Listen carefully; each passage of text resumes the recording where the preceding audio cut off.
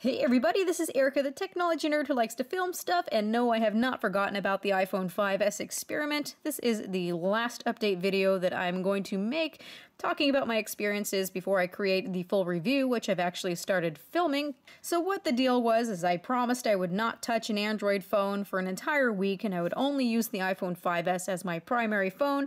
I did that. I did not fail this challenge. I decided that this is a little phone that I will like to keep in my pocket with me. It's my little pocket friend, or my backup phone, really. So after my week of using this, I said I was going to be getting the Galaxy Note 3 and I was going to use them concurrently side by side to really see how the experience went, and that's something that's going to be a part of my full review. So there are two big things that I have noticed lately with this phone. One thing is that Yes, it's a little weird that Apple keeps continuing on with the 5, 5S, 4, 4S, all of that, and they end up not changing the design of the phone at all, except for the fingerprint reader home button here.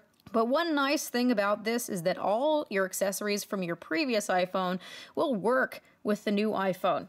And so I went to the store today and had a complete nerd out moment and found this Survivor Case Batman Justice League of America series. Was totally ecstatic about it, but then I realized, oh yeah, this thing has a fingerprint reader and now I can't use it. I've actually really used this fingerprint reader. I think it has enhanced the experience as I have mentioned before. So that's one thing to think about when you get an iPhone 5S versus the iPhone 5. If you want to have a very protective case, you have to pay attention to the fact that the home button may be covered up.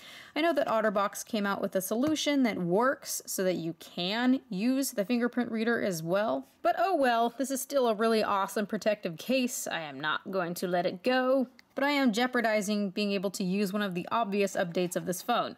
One other thing that I want to talk about is actually the display. It is the exact same display that we had on the iPhone 5, and that has frustrated a lot of people. A lot of people were hoping that Apple would boost the size of the display, especially when you consider phones like the Galaxy Note 3 with a 5.7 inch display versus 4 inches but there are a lot of people who think this is a sweet spot and don't want to see it change at all. Now, while this is too small for me, 4 inches is a little bit difficult when watching content like on Netflix. I do wish to have a bigger display, but at least games that are full screen like Infinity Blade 3, I haven't felt insulted by the lack of screen real estate. Actually, the 4 inch display is bearable with full screen games. Another thing that's a joy about Apple and what they do with their displays is that they're not one of those companies who has to match AMOLED. They don't care what Samsung does. What I like is that they don't do crazy things with the calibration. They're not making shadows darker than they're supposed to be to try to give it an effect. They're not oversaturating the colors. They're not messing around with the gamma to try to make certain things pop, like make certain colors brighter in one area and other colors very dark in another area. No, Apple tries to leave it as a properly calibrated display. So yes, this is a very small display, but watching media content, if you don't mind the size of the display, is pretty ideal, and I thank Apple for that. They're the only company that I know of that's not doing these crazy things with the calibration. So still the exact same display of the iPhone 5. It's not considered HD at all, but the calibration is not bad. And if you're somebody who's very bothered by garish, terrible looking, oversaturated colors, or not exactly happy with what's going on in terms of calibration,